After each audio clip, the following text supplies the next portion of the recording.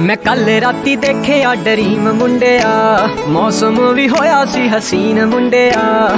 ਪਿਆਰ ਵਾਲੀ ਦੋਨਾਂ ਵਿੱਚ ਗੱਲ ਚੱਲਦੀ। ਰੋਮਾਂਟਿਕ ਜਾਂ ਚੱਲਦਾ ਸੀ ਸੀਨ ਮੁੰਡਿਆ।